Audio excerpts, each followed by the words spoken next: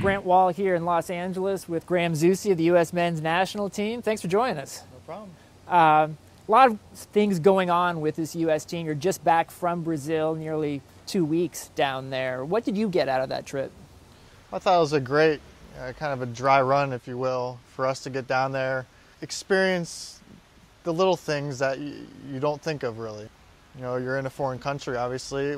You're in a great hotel, great area, but there's just a, a, few little things about being in a foreign country that sometimes you don't think of. So I think it was great for the players, great for the staff to get a feel for everything, and just iron out the, the, the details that need to be ironed out before uh, before summer. From a soccer perspective on the field, you played a couple closed door games against Sao Paulo FC, a lot of training sessions. How did it go from a soccer perspective? I thought it went very well. Um, we, we really pushed, uh, well, the staff really pushed the guys hard, um, and I thought everyone responded very well. Um, you know, we, we were focused for, for the whole two weeks and really felt that we got a lot out of it for, uh, in a player's perspective. So um, I thought the games went well. Uh, we, we, we, performed well, and um, the training we got was, was great. We're in a World Cup year now. It's just a few months away. Every player is fighting for a spot on that 23 man roster. There was a, a stretch last year in qualifiers uh, where, in a couple of them, you weren't starting. Uh, you came in and won and scored in Kansas City. Uh, you got the starting spot back uh, in Panama, got the big goal there. Uh, what do you think it will take for you to get a starting spot potentially on this team in Brazil?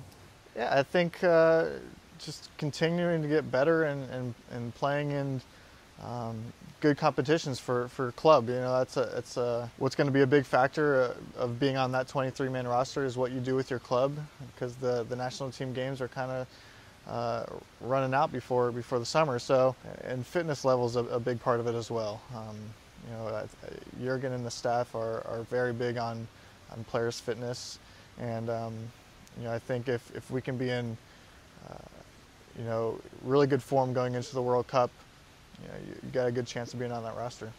You are known now in Mexico as Saint Zusi uh, after your goal late against Panama saved Mexico's World Cup hopes. Uh, what are some of the, the coolest stories of interactions you've had with Mexico fans after that? Looked at Twitter naturally, and the the outpour from the, the Mexican supporters was unbelievable. I mean, literally thousands and thousands of tweets directed at me. Um, but then when I got back to Kansas City uh, the following day, I, I went into training like a normal day, but um, it wasn't very normal. There was a, a group of Mexican supporters out there, um, kind of grabs me and, and, threw a, a sheet over my head, threw a sombrero on, on my head, and uh, that's when I was dubbed, I guess, San Zusi. Yeah. It's a great story, and I, and I hope you get free beers or drinks or whatever from Mexican fans for the rest of your life.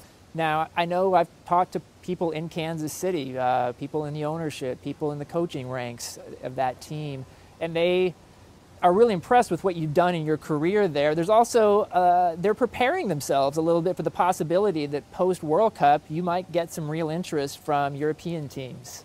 Uh, have you thought about that?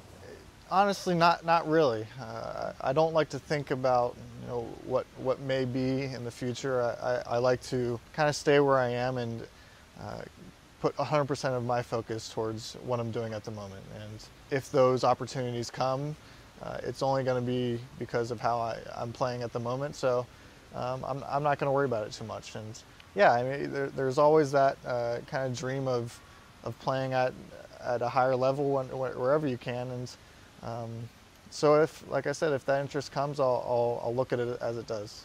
Well, it's a big year, a lot of things happening on the soccer field for you. Good luck with everything. Thank Thanks for joining much. us. Yeah, thank you.